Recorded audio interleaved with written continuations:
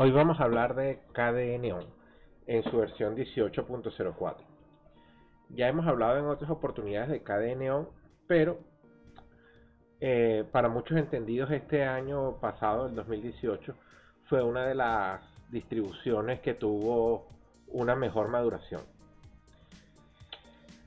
Si nos vamos a verlo como tal, KDE no es más que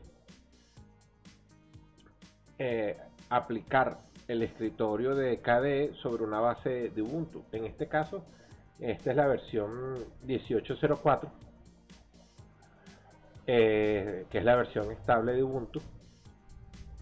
Es posiblemente, según muchos, la distribución sobre Ubuntu con KDE que está mejor optimizada. Si bien en sus inicios se hablaba de que tenía unos bugs y demás. Ellos han ido haciendo un trabajo de mejoramiento constante. Tal vez una de las ventajas que tiene que trabajar sobre las LTS, como en el caso que está sucediendo aquí con Cadeneon, es que ellos nada más tienen que preocuparse de ir mejorando sobre una base que es estable y no tienes que estar constantemente haciendo cambios. Si nos vamos a ver en, en cuanto a su interfaz, es KDE puro prácticamente si vamos a, a ver, no tiene inclusive montado mayor cantidad de cosas. Si nos venimos oficina, ni LibreOffice ni nada. En sistema están las cuestiones propias del, del escritorio, lo cual hace que, el sistema no, se lastre mucho por, por aplicaciones al momento de montar la, la base pura. Vamos a seguir viendo más o menos el navegador que usamos por defecto o que utiliza por defecto KDE es Mozilla.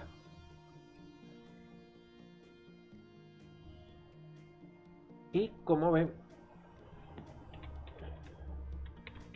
eh, a diferencia de otras distribuciones en que buscan estarle metiendo buscador, navegadores, no, o sea, KDE Neon tiende a dejar en un estado bastante puro los sistemas y procuran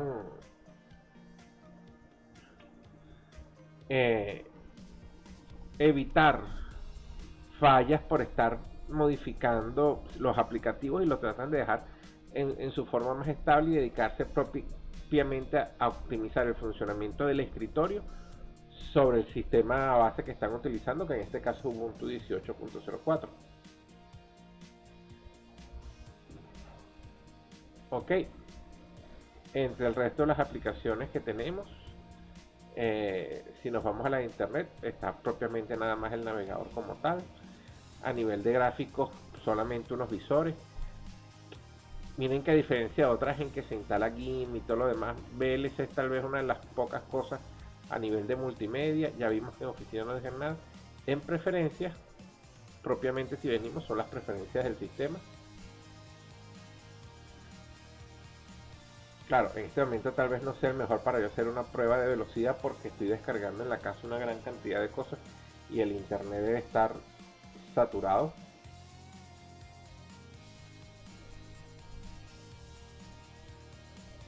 Sí, está saturado en estos momentos.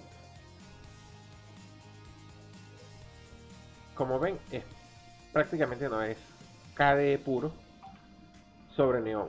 Lo que muchos muchas personas han alegado que les gusta y mucho y se oyen muchos foros eh, que es lo que está haciendo yendo a favor de KDNeon es cómo han ido mejorando la optimización.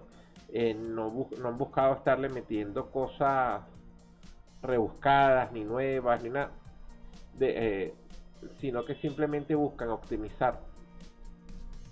El funcionamiento de un escritorio que tiene muchos seguidores optimizarlo bajo una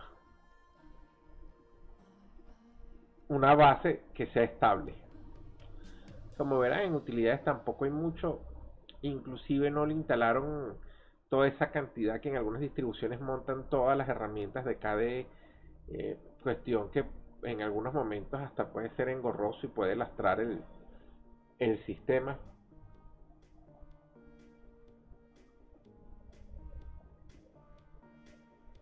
una base limpia, por así decirlo, eh, en la cual trataron de limpiar los errores lo más posible para que cada quien monte lo que quiere y lo que necesita. Eh, muchas personas consideran que hay aplicativos que deberían ser indispensables colocar y otras personas consideran que no. Un software de ofimática es algo que la mayoría de las veces en Linux eh, viene prácticamente de fábrica. Aquí vemos que no.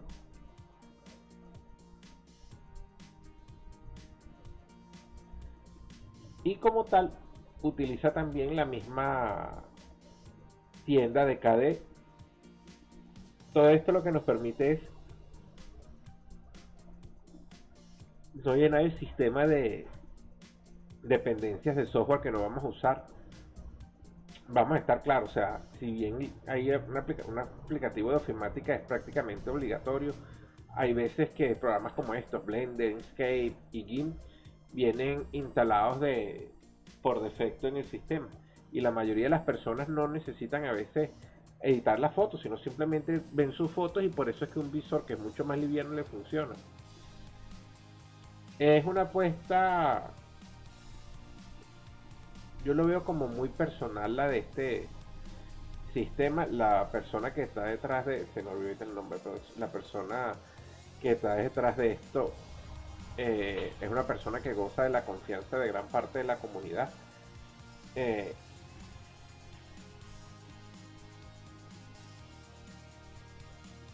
y en general es un sistema que funciona muy bien. Con todas las propiedades que trae KDE, por ejemplo, si cambiamos, nos vamos a las alternativas de lanzador, miren que yo simplemente cambio y coloco los lanzadores tal cual como, como lo podamos querer en un momento u otro.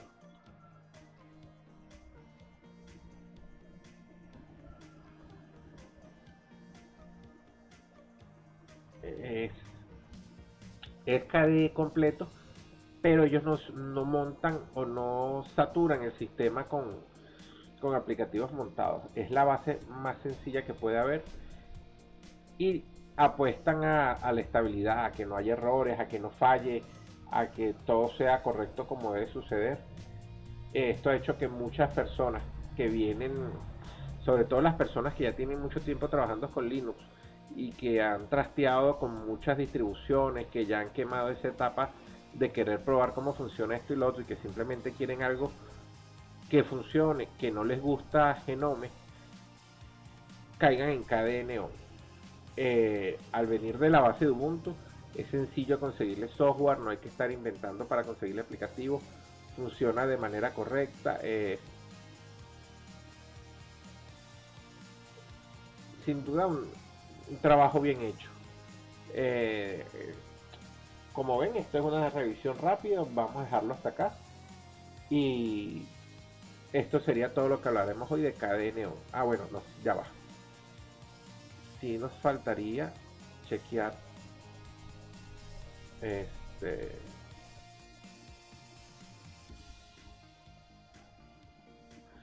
a buscar en preferencias o en sistemas algo que sí debe estar, que es el terminal.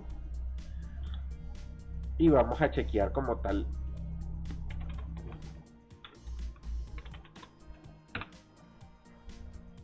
la base que trae el sistema. No está montada, vamos a montarlo.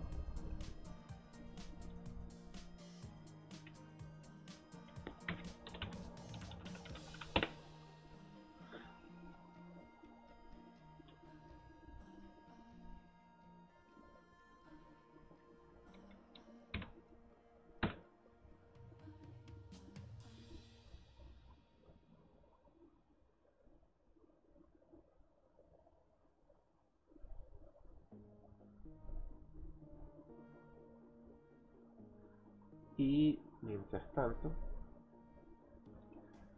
yo creo que ya el otro que estaba descargando debe haberse terminado.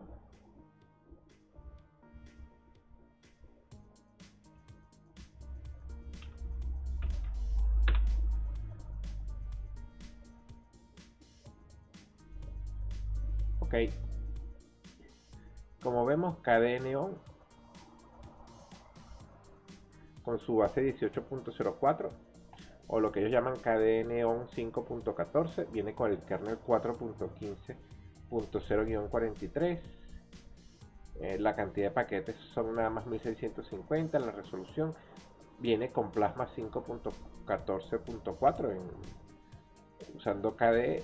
Como ven, el tema por defecto, todo Breeze tal cual como viene por defecto en Plasma, con las letras por defecto. Y bueno, ya lo otro sería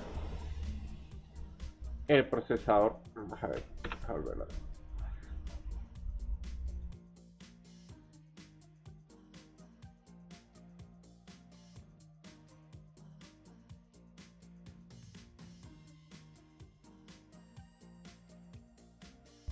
El procesador, que es un A10 5800K que ya hemos probado, tiene 2 GB y medio asignado ahorita de memoria y los drivers de como tal de VirtualBox que es el que está trabajando por debajo. Sí, bueno, ya la prueba se parece un poco más, ya el internet libera un poco. Eh, ahora sí, esto es todo y espero que les haya gustado.